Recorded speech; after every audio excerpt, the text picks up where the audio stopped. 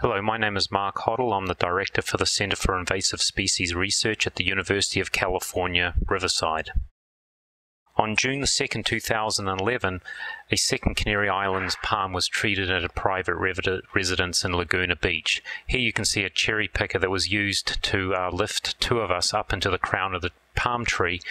And once up there, we removed fronds by cutting to make an observation window.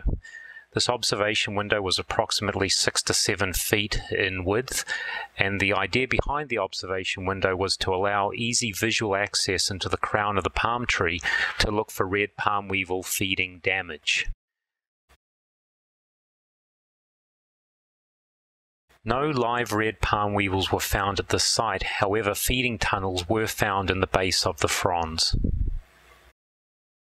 Here you can see the carapace or the thorax of an adult red palm weevil with the characteristic red stripe.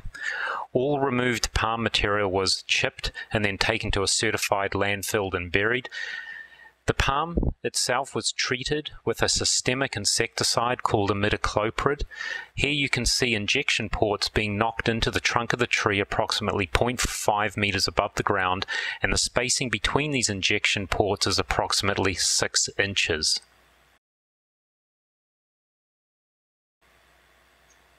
Hand application of imidacloprid at approximately 1 mil was made into each of those injection ports.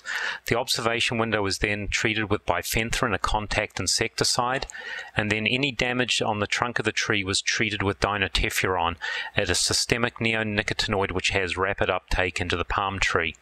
The idea behind these three palm treatments, uh, the bifenthrin, the imidacloprid, and the dinotefuran, is to protect this palm tree from feeding damage by red palm weevil.